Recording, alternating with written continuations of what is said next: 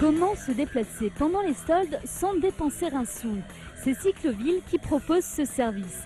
Installée à Colmar depuis un an, la franchise lilloise implantée dans six autres villes françaises tente à présent de conquérir le marché alsacien.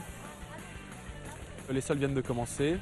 Et pendant cette période, un annonceur euh, a utilisé notre support pour communiquer et offrir donc en centre-ville à tous les consommateurs, ceux qui viennent profiter des soldes, euh, la possibilité d'utiliser ce système de transport pour aller d'un point à un autre euh, avec leurs bagages. Ils sont chargés, ils ont les, paquets qu'ils ont achetés. Et donc c'est vraiment très pratique pour, tout le monde et ça nous permet à nous en même temps euh, de permettre de faire découvrir au public ce système de transport. Rien à payer donc pour les usagers jusqu'au 20 janvier. Une solution de proximité pratique et écolo qui rivalise avec les transports en commun et les taxis. Nous ne posons pas en concurrence ni avec les taxis, ni avec le tram.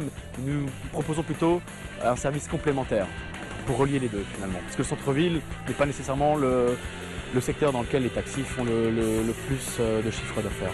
Un concept qui allie à la fois transport et communication et qui intéresse beaucoup d'annonceurs. Cycloville n'est pas le seul sur ce marché, la concurrence est déjà présente à Strasbourg. 1,50€ le kilomètre parcouru pendant les soldes, chaque centime compte, alors les piétons en profitent. Ça évite euh, déjà de nous fatiguer, déjà on marche beaucoup dans les magasins. Donc si on peut éviter les trajets, hein, c'est bien. Je ne connaissais pas le concept, euh, c'est en arrivant à Strasbourg que j'ai découvert euh, Alors c'est un, vélo et ça me permet aujourd'hui de faire les soldes, les grands magasins et puis c'est offert. Donc bah, je suis très contente. L'année dernière, la société mère a réalisé près de 600 000 euros de chiffre d'affaires, jusqu'à 500 déplacements quotidiens enregistrés sur tout l'Hexagone. On peut dire que ce business est loin de piétiner.